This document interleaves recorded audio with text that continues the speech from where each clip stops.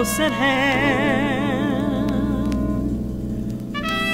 Oh, take part in a